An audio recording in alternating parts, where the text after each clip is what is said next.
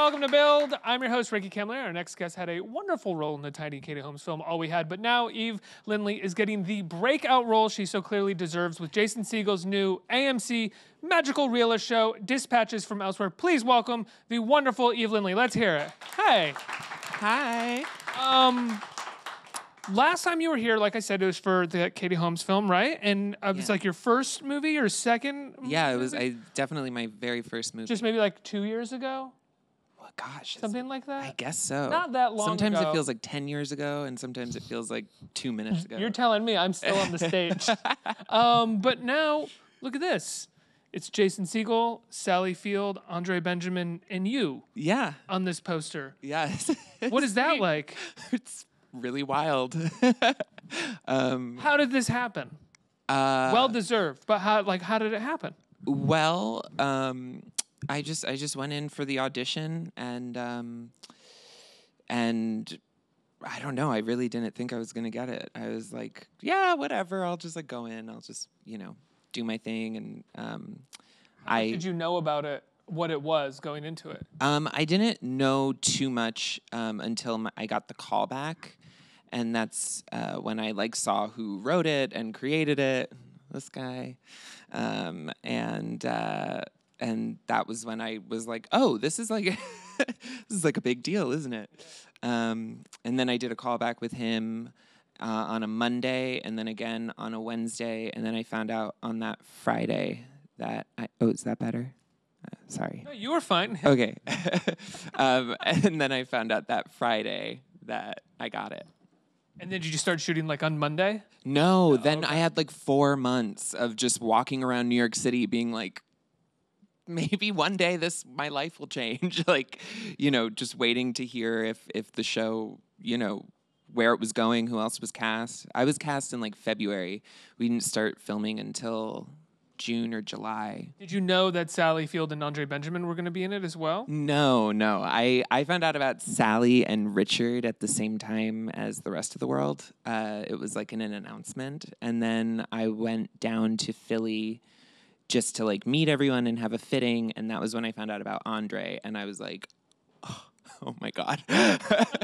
It was like- I thought, I thought uh, the character Andre plays uh, Fredwin. I thought he was going to be like another unknown person. So I was like, okay, Like Sally Field. yeah, exactly. So I was like, this is good. Like there'll be someone there that I can like, you know, relate to.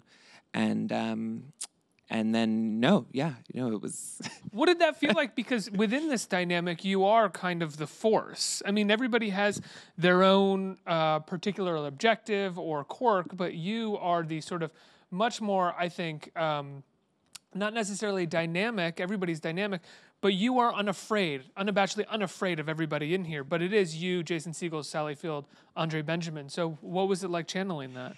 yeah, it uh I mean it was it was really fun to like to be so um to be the force of the group and like to you know bump uh Andre and I are always butting heads and like Sally and I are uh you know we we our relationship kind of grows over the, the the few episodes and then of course Peter and I um it was it was it was cool. I mean it took a while to get me to like really you know go balls to the wall but um, Comfortable? yeah, yeah.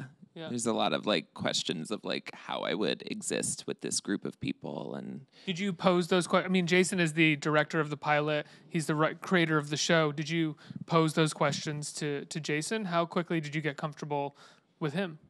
Um, pretty quickly. We like had a dinner in um in LA once. I just happened to be out there.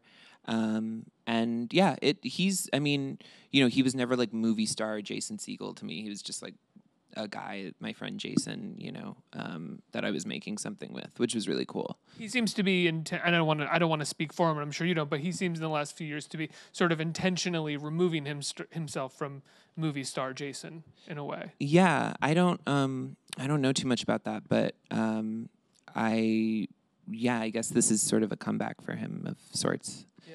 Um, you get on set with. Uh, well, actually, tell me about tell me about your character. Um, I play Simone, um, and she is uh, she's an art school dropout. She's uh, she's a bit of a mess. She's sort of um, in this place in life where I think she doesn't really, uh, she doesn't really know what's coming next, and she doesn't really know like how to make sense of what is going on, and um, and so she finds this game, this scavenger hunt, where suddenly everything makes sense, and like suddenly she can be, you know. Uh, the confident woman that she wants to be and and she meets all these people and um, yeah it's a really topsy-turvy story with a lot of twists and turns and a lot of uh, surprises and yeah, I, I, mean, I can't give too much away, but um, I hope this isn't giving anything away. But one of the one of the things that I liked is that um, the first episode, uh, Jason's character is kind of a meek man who hasn't really doesn't really know how to be active in his own life, and he meets you, and you're initially portrayed as what seems like a classic trope of the manic pixie dream girl that could potentially like take it, like show him how much more enriching life could be. Yeah, yeah. But right away the second episode kind of strips that away and actually builds upon your character and shows us who she is. Did you know that was going to be the case after the first episode? Had you seen all the episodes?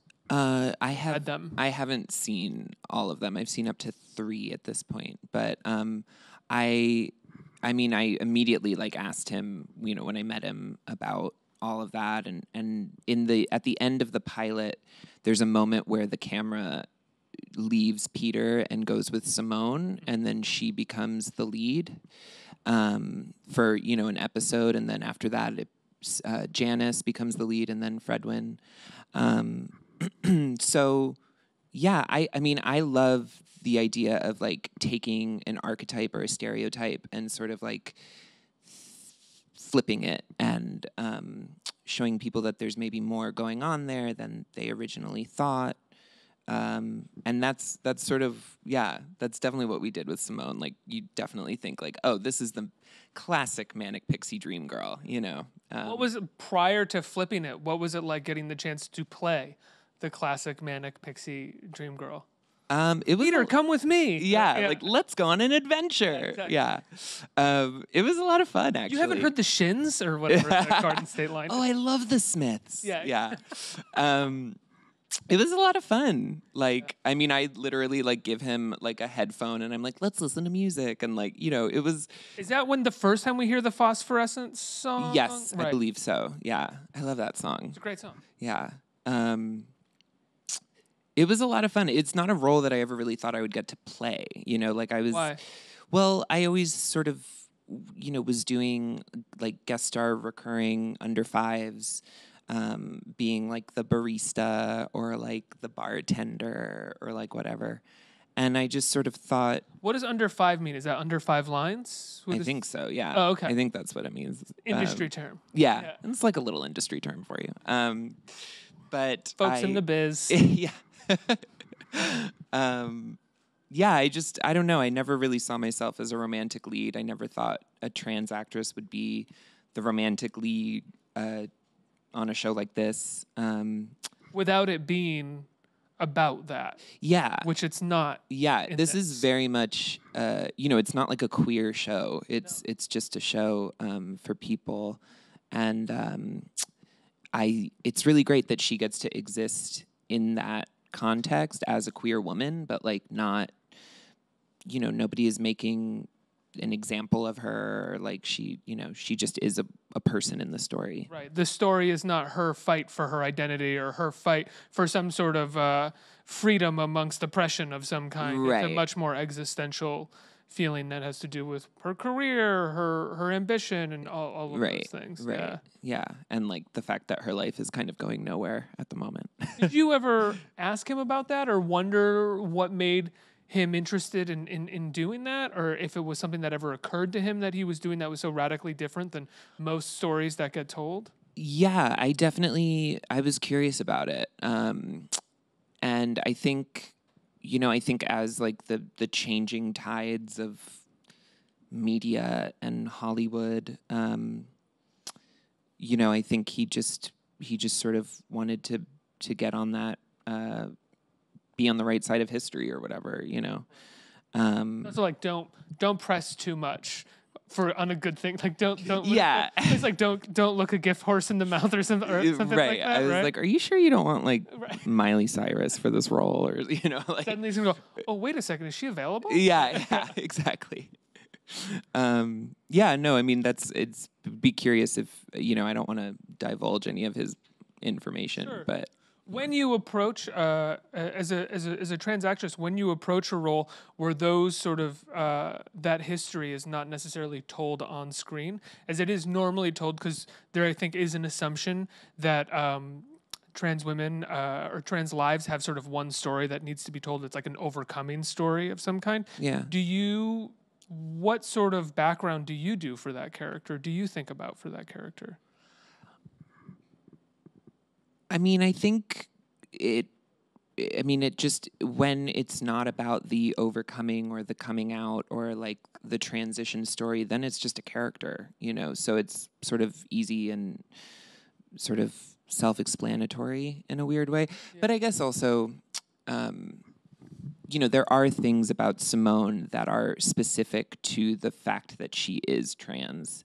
And we see uh, in future episodes, like there are certain things that she she puts a limitation on herself or she holds herself back because she uh, doesn't feel worthy. And like I think um, for me that like came directly out of like the trans thing. So like that's sort of how I married those two things.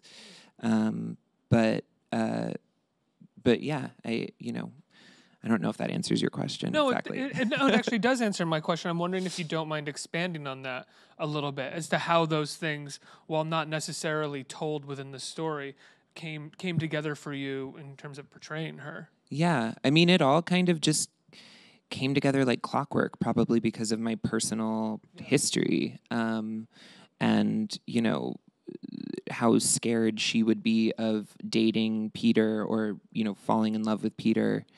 Um, I mean, I think all women in New York are like, "Wow, dating and love is like really crazy. it's like really uh, a shit show here." Um, um, am I allowed to Yeah, you Yeah? can curse. Yeah. Okay, cool. Especially if you're talking about dating. Yeah, Yeah. yeah. That's really the only time I ever curse. Um, so yeah, no, I mean it just it just be- Why why is it such a shit show? You think? in New York. Yeah. Is it the idea that there are so many options? Is it the idea that we're surrounded by people? I mean, The idea that we're all like ambitious and crazy and are trying Yeah. to figure out what the next thing is, and so we can't sort of settle on what may be the right thing. I mean, It's gonna get into it. yeah. Let's discuss. Okay. Dating with Ricky. Yeah, dating in New York. Transition the show here to dating with Ricky. That's what it's gonna be. That would be good. It could become a dating show, actually. um, no, I don't know. I think that there's just something about New York. There's so much going on, and we're also like constantly surrounded by people. So there's like this thing where you're like, if you're choosing to be surrounded or to be around another person, like you really have to like them because you're on the subway with people. You're in, you know, trying to walk on the sidewalk, trying to get around somebody who's walking too slow. You know, like it's just like a small cesspool or something. like, um, yeah. And that's how I feel about dating. Sounds like it's going great. yeah. Um, I think we have time for a couple questions uh, from the audience. Uh, who has the question? Miles? Yeah. Right here. Hey.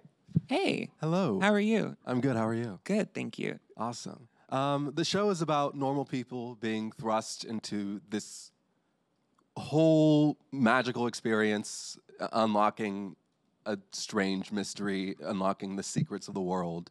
Um, is there uh, anything about you that would that compels you as a person um, to unlock the mysteries of the world? If you were approached with a puzzle that could unlock the unknowns, is there something about you that compels you to pursue that? Yeah, absolutely. Um, I mean, like my name is literally Eve, so like I like bit the apple just to know what would happen. You know, like I I just want to know everything, and like any puzzle that's put in front of me, I would probably I would probably ride that.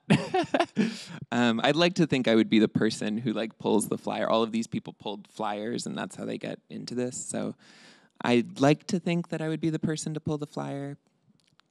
I would have to notice the flyer, which sometimes is is my problem if I have like headphones in and my head down. So It's hard to notice things like that in New York because they're everywhere. So eventually you just start disregarding. yeah. There's just too much noise. Yeah, and like the first week you move here, you're like, look at all these flyers. I'm gonna read every single one of them, and then, um, and then like you're here for five years, and you're just like, you know, everything is like completely zoned out. You moved here for the Flyers and then you got distracted. It's I- so sad. I was told there would be flyers everywhere. the streets are paved with flyers. I'm going to New York for the Flyers. Uh, one more question from Sarah.